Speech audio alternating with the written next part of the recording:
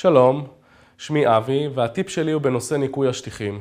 תמיד תעדיפו ניקוי של שטיחים מקצועי הנלקח לבית חרושת ולא מתבצע אצלכם בבית. מהסיבה שבבית החרושת השלבים שעובר השטיח לא ניתנים לביצוע אצלכם בבית, כגון הכנסה למנערת, רובוט שיודע לשטוף את השטיח כפי שצריך, מכונת סחיטה וחדר ייבוש. השטיח לא נשאר רטוב אצלכם בבית ועם שאריות החול והלכלוך.